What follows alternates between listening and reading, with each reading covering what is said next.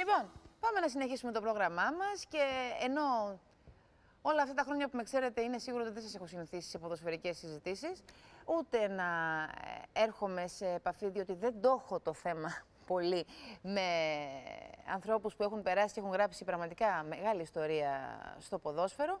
Ε, εχθές είδατε ότι πήραμε μια πρώτη, μια πρώτη επαφή α, μιλώντας με τον Νίκο Σαργκάνη.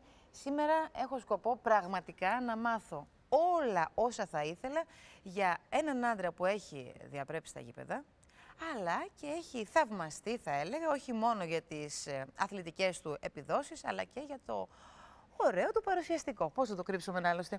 Ο κύριος Αντώνης Νικοπολίδης. Καλώς μας ήρθες. Χαίρομαι πολύ Και εγώ που σας βρήκα. που μας βρήκατε να μιλάμε στον ελληνικό Αντώνη. Ωραία, Έχω θα εγώ μιλάμε. την κόμπλα με το θέμα που δεν το γνωρίζω πολύ καλά, αλλά εσένα σε ξέρω. Καλησπέρα. Και ξέρω πάνω κάτω τι έχεις κάνει ε, στα γήπεδα. Αλλά αυτό που με ενδιαφέρει πιο πολύ να μάθω είναι ποιος είσαι, πώς ξεκίνησες και πώς έφτασες μέχρι εδώ. Γι' αυτό ακριβώς έγραψα αυτό το βιβλίο. Λοιπόν, Αυτό να το το βιβλίο- πούμε λοιπόν, γιατί έδειχνα το πρωί τη φωτογραφία. Ωραία η φωτογραφία. Ελπίζω να σας άρεσε. ναι, πολύ. Λοιπόν, ε, Αντώνης Νικοπολίδης, ο αγώνας της ζωής μου. Ναι. Ο αγώνας της ζωής μου, βέβαια, στον αγώνα σκεφτόμαστε πάντα ένα ποδοσφαιρικό αγώνα. Γιατί έτσι σε έχουμε συνδυάσει. Εσύ όμως φαντάζομαι δεν εννοείς μόνο αυτό. Όχι αυτό. Είναι διφορούμενο, έτσι. Μιλάει και για τον Αντώνη ε, τον γηπέδο, με ένα διαφορετικό τρόπο όμως. Όχι με την έννοια που όλοι γνωρίζουμε ε, του ρεπορτάζ του Αντώνη ε, που κρίνεται κάθε Κυριακή στο, στο, στο, στο- σε ένα παιχνίδι. Έτσι. Ε, μιλάμε τον Αντώνη ε, κυρίως τον Αντώνη ε, που ξεκινάει, που ξεκινάει ποιος είναι, ποιες είναι οι αξίες της ζωής ε, εκεί, με, με τους οποίους μεγάλωσε, αυτά που οι γονείς του, του, του δώσαν, έτσι. Ε, μιλάει για τον Αντώνη ε, για τα πρώτα του όνειρα, α, τις δυσκολίες, έτσι, γιατί μιλάμε για, για στερήσεις, για θυσίες. Ε, μιλάμε ε, για τον Αντώνη της αφάνειας που ουσιαστικά κάποιος, ποτέ δεν τον ήξερε κανένας ή κανένας δεν μπορούσε να ασχοληθεί μαζί του. Τι ήταν αυτό που τον κράτησε στη ζωή, τι ήταν αυτό που του δίνει δύναμη για να συνεχίσει, για να φτάσει, για να κάνει μια, ε, μια καριέρα που την έκανε ουσιαστικά από τα 33 του και μετά. Ε, ποια ήταν η ψυχολογία του σε δύσκολες στιγμές, ποιες ήταν οι αποφάσεις στη ζωή του, πώς τις πήρε, κατά από τι, κατά από τις σκέψεις; Πράγματα α, τα οποία ο κόσμος δεν γνωρίζει, γιατί ο, ο κόσμος γνωρίζει τον Αντώνη, τον τερματοφύλακα. Συγχρόνως όμως ήθελα μέσα από αυτό το βιβλίο να, να, δεις- να δω και στα νέα παιδιά α, να δώσω να καταλάβουν τα παιδιά τα οποία θέλουν να ασχοληθούν με το ποδόσφαιρο, κυρίως τα παιδιά που θέλουν να κάνουν επαγγελματισμό ή πρωταθλητισμό. Όχι αυτά που. Ποια ηλικία αυτό ρώταγα χθες Ναι. και τον ε, κύριο Σαργάνη μου και εκείνο για πρώτη φορά μου δόθηκε ευκαιρία να μιλήσω μαζί του. Σε ποια ηλικία καταλαβαίνει ένα παιδί ότι δεν μ' αρέσει απλά να κλωτσάω την μπάλα, δεν μ' αρέσει απλά να περνάω χρόνο παίζοντας ποδόσφαιρο με τους φίλους μου στη γειτονιά μου, αλλά ρε παιδί μου το έχω βάλει στόχο και θέλω να ξεχωρίσω. Θέλω, θέλω να είναι αυτή η ζωή μου. Πότε το καταλαβαίνει ένα παιδί. Και το καταλαβαίνει, το το λένε άλλοι. Όχι, δεν το λέει κανένας. Αυτό ακριβώς θέλω να πω. Ότι υπάρχουν πάρα, πο- πάρα πολλά παιδιά που έχουν πολύ μεγάλο ταλέντο. Και έχω δει εγώ στην καριέρα μου πάρα πολλά παιδιά, νέα παιδιά με, με πολύ μεγάλο ταλέντο. Ε, αυτά όμως που ξεχωρίζουν α- α- από τα πραγματικά που κάνουν πρωταθλητισμό, από αυτά που κάνουν αθλητισμό ή θέλουν να κάνουν πρωταθλητισμό, είναι αυτά που αφουσιώνονται στο στόχο. Ε, είναι αυτά τα οποία θυσιάζουν πολλά πράγματα στην παιδική τους ηλικία. Γιατί θυμάμαι στα 17 μου, στα 6 μου, στα 16 μου, ε, οι φίλοι μου να βγαίνουν έξω και εγώ να κάθομαι, επειδή ήμουν σε επαγγελματική ομάδα στην Άρτα, να, να κάθομαι σπίτι μου και να περιμένω το παιχνίδι. Ε, Ένα παιδί 16 χρόνων που θέλει να βγει. Αυτό, αυτό λοιπόν γίνεται από πιτσιρικά. Βέβαια, όταν δηλαδή αυτές αυτό που μας ασχολείσαι. λένε ότι πρέπει να κάνετε εσεί ποδοσφαιριστές, να μην ακριβώς. βλέπετε τις γυναίκες σα, ξέρω, μην Αυτό βγαίνετε ακριβώς, έξω, να αυτό μην ακριβώς, ξενυχτήσετε, να ακριβώς. μην βγείτε, να μην. Να μην... Από την αρχή ξεκινάει. Έτσι έτσι. ακριβώς. Αυτό θέλω να δείξω στα, στα νέα τα παιδιά. Ότι πρέπει να θυσιάσουν πολλά πράγματα στην καριέρα τους, στη ζωή τους μάλλον, για να κάνουν μια καριέρα την οποία α, θέλουν. Και τα πιο αποφασισμένα, αυτά που έχουν ταλέντο και τα πιο αποφασισμένα, είναι αυτά που τελικά που τα καταφέρνουν. Γιατί έχω δει ταλέντα μεγάλα, δεν τα κατάφεραν γιατί χαθήκαν κάπου μεταξύ. Δεν έχει μεταξύ... να κάνει και με την τύχη όμως. Όχι. Καθόλου. Την τύχη την ορίζουμε. Για μένα την ορίζουμε. Όταν ένα παιδί έχει ταλέντο, πολύ μεγάλο ταλέντο, α, δεν μπορεί κανένας να τον σταματήσει. Το ποδόσφαιρο, ο αθλητισμός είναι αξιοκρατικό. Ο καλύτερος παίζει. Κανένας δεν μπορεί να του σταματήσει στον δρόμο. Μόνος του μπορεί να σταματήσει τον δρόμο του. Μόνος του πιστεύοντας ότι. Το ξεκίνημα δεν είναι σημαντικό. Πιστεύοντα.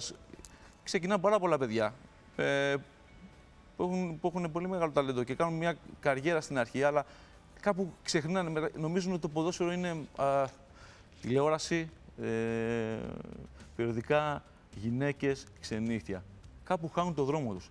Τα παιδιά όμως που έχουν βάλει στο στό- σαν στόχο όμως α, την καθιέρωση μέσα από, μέσα από τη δουλειά τους, να γίνουν γνωστά μέσα από τη δουλειά τους.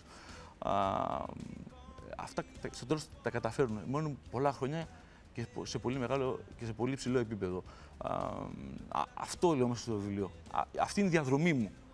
Α, και οφείλω, και οφείλω στα, στα νέα τα παιδιά να πω, να τους δείξω το δρόμο. Θα τα πούμε τώρα όλα αναλυτικά, γιατί πραγματικά μου δίνεις πολλές πάσει να σε ρωτήσω χιλιάδες πράγματα.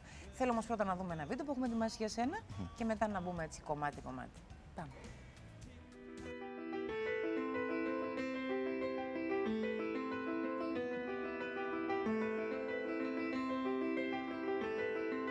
Κάθε γενιά έχει τα πρότυπά της, τους ήρωες και τους αντιήρωέ της. Για τα παιδιά και τους εφήβους των δύο προηγούμενων δεκαετιών, ο Αντώνης Νικοπολίδης είναι και θα είναι σίγουρα ένας από τους αθλητές, ένας από τους άντρες που θα έρχονται στο μυαλό τους και θα επηρεάζουν το μέλλον και τις αποφάσεις τους.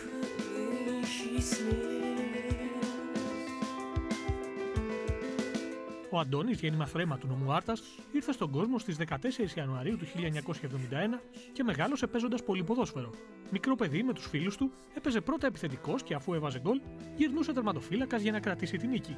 Στα 14 του, που ξεκίνησε να παίζει στην ομάδα του χωριού του, βρέθηκε να χρειαστεί να αντικαταστήσει τον ξάδερφό του στη θέση του τερματοφύλακα και έκτοτε δεν άφησε ποτέ τις αιστείες και τα γάντια.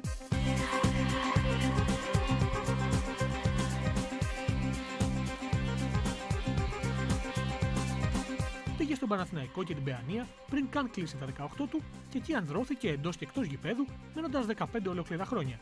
Έφυγε πικραμένος και αδικημένος από τον Παναθηναϊκό το καλοκαίρι του 2004. Το μεγαλύτερο καλοκαίρι στην καριέρα όλων των παιδιών που έπαιζαν στην Εθνική Ελλάδα τότε. Οι εφημερίδες και τα περιοδικά ονόμασαν τότε τον Αντώνη George Clooney των γηπέδων.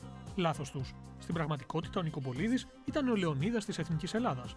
Η ήρεμη δύναμη, η αρχηγική φιγούρα που έδινε οδηγίες και κουράγιο όταν μετόπισθεν, αυτός που κράταγε τις θερμοπύλες της αιστείας του, έκρουε τις σκληρές επιθέσεις των τεράστιων σε αξία αντιπάλων του.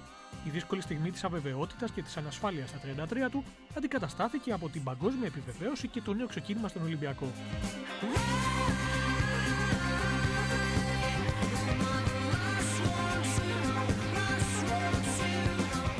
Στο λιμάνι βρήκε την αναγνώριση που του άξιζε και την ανταπέδωσε με τις καλύτερες εμφανίσεις της καριέρας του.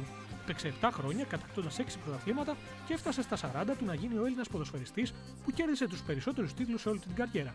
Ο ίδιος βέβαια παραδέχεται πως όσες μεγάλες στιγμές και αν έζησε στην καριέρα του, την ευτυχία του τη χρωστάει στην οικογένειά του.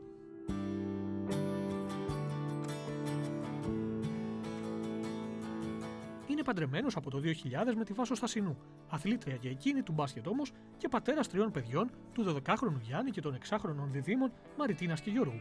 Ο σεμνός και σοβαρός Αντώνης νιώθει ευγνώμων όπως ο ίδιος εξομολογείται δημοσίως πια και για την τύχη του που του έφερε δόξα και επιτυχίες σε μια ηλικία που μπορούσε να τα διαχειριστεί, αλλά και για τη στήριξη και την παντόφλα της γυναίκας του που τον έκανε πάντα να βλέπει τα πράγματα στις αληθινές τους διαστάσεις.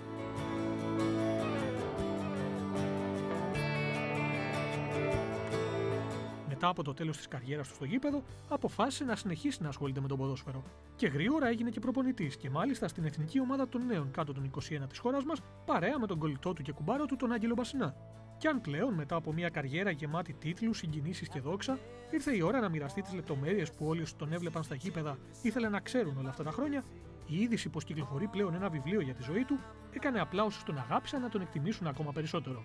Γιατί τον Αντώνη Νικοπολίδη, οι φίλαθλοι σε αυτή τη χώρα, δεν τον αγάπησαν μόνο γιατί μαυροντημένος σαν το Λεβιασίν μας οδήγησε στην κατάκτηση του Euro, αλλά και γιατί σε έναν κόσμο τόσο περίεργο και αλλοπρόσαλο όπως το ελληνικό ποδόσφαιρο, ο ίδιος ήταν πάντα μια διαφορετική περίπτωση ήρεμνου και σεμνού μεγαλείου. But I'm a lucky man with fire in my hand. Ωραία φωτογραφία αυτή η τελευταία. Αυτή είναι. Τι σημαίνει αυτή η στάση με την μπάλα εκεί; Ε, Λίγο ξανά. ναι.